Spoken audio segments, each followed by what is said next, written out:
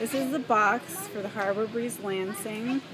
It's 42 inch brush nickel finish, reversible blades, three mounting options, and a smart twist light bulbs.